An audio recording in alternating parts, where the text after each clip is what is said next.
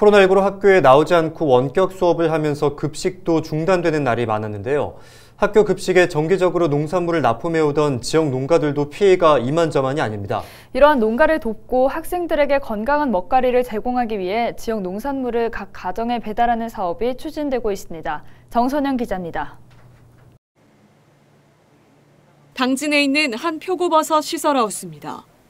학교 급식에 버섯을 납품하고 있는 이 농가는 코로나로 급식이 중단되면서 어려움을 겪었습니다. 코로나 이전 일주일에 120kg 정도 납품했던 양은 현재 6분의 1 수준까지 떨어졌습니다. 당진 지역 유치원과 초중고등학교 급식에 공급되는 농산물은 연간 426톤으로 112개 농가에서 생산됩니다. 특히 학교 급식에만 판로를 의존하고 있는 소규모 농가의 경우 타격이 클 수밖에 없습니다. 소규모 농가 같은 데는 뭐 의존을 학교 급식에 의존을 거의 8, 90% 이상한 농가들은 거의 문 닫을 지경까지 이르렀겠죠. 우리는 그래도 규모가 크니까 유지는 해왔지만은 어렵게.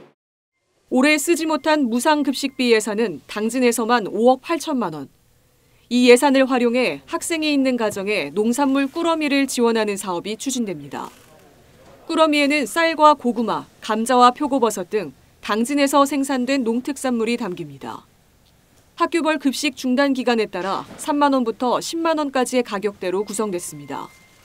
당진 시는 팔로가 막힌 농가를 돕고 원격 수업으로 늘어난 가정의 식비 부담도 덜 수 있을 것으로 기대하고 있습니다.